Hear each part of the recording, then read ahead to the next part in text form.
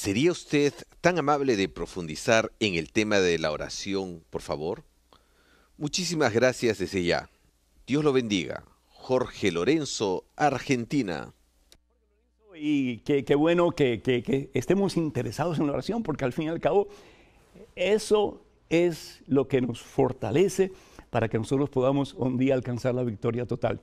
Y cuando hablamos de oración, hablamos no solamente de oración con palabras formales como las que encontramos en el Padre Nuestro, que es eh, la oración por excelencia, porque es la única oración que Jesús le da a sus discípulos, no hay otra, y es la oración que ellos repitieron una y otra y otra y otra y otra vez.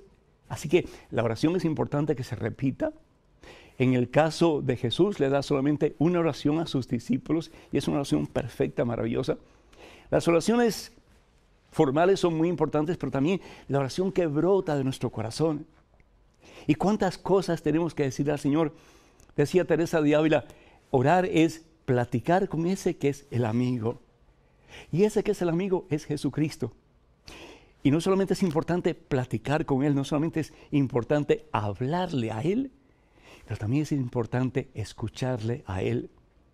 La oración no solamente entonces hablar con Dios, la oración es también escuchar lo que Dios nos tiene que decir. Un ejemplo importantísimo es Santa Mónica. Santa Mónica, e, ella pudo haberse dado por vencido. La fiesta de Santa Mónica la estamos celebrando estos días, igual que la fiesta de San Agustín. Agustín era un muchacho muy parecido a Francisco de Asís, muy parecido a Ignacio Loyola, muy parecido a muchos santos que en su juventud por un tiempo no querían nada que ver con Dios, eran parranderos, eran mujeriegos, tomaban de todo lo que usted se puede imaginar. Pero ahí estaba Mónica en este caso. Y Mónica no se dio por vencido. Mónica se fortalecía en la oración. Y Mónica sabía escuchar la voz de Dios que le decía, paciencia, paciencia, no en tu tiempo, sino que en el mío. Y eso es unas cosas maravillosas que escuchamos a través de la oración, que el Señor nos va a decir, ya me lo rendiste a mí, ya me lo entregaste a mí, entonces yo voy a hacer la obra. Como lo que te toca a ti es seguir empujando la roca, pero yo voy a ser el que la voy a mover, yo voy a ser el que la voy a mover en su debido tiempo. La oración es un diálogo, hermanos. Y Dios habla de muchísimas maneras. Y si nosotros nos aquietamos en el silencio de nuestra oración, vamos a escuchar la voz de Dios.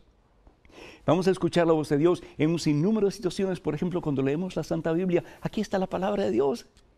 La palabra de Dios que es viva y eficaz, palabra que es como espada de doble filo, dice la carta a los hebreos, que penetra. ¿Para qué? Para quitar de nosotros todo lo que no es de Dios y llenarnos más y más de la presencia del Señor. La oración es escuchar también a Dios. Y Dios nos habla a través de su iglesia, Dios nos habla a través de un amigo, Dios nos habla a través de un sacerdote, Dios nos habla a través de un programa Conozca Primero su Fe Católica, ¿por qué no?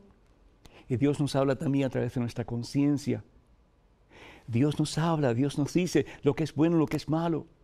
Y Dios nos guía con su Santo Espíritu para que podamos nosotros fortalecernos cada día más en ese en quien todo lo podemos, que es Jesucristo. Muchísimas gracias a ustedes por su interés de orar. Oren, oren, sobre todo leyendo la Biblia, sobre todo sacando palabras que salen del profundo del corazón y también palabras que son escritas, palabras de oración formal. Lo importante es orar, hablar con Dios, pero también esperar que Dios nos hable, porque Él tiene mucho que decir.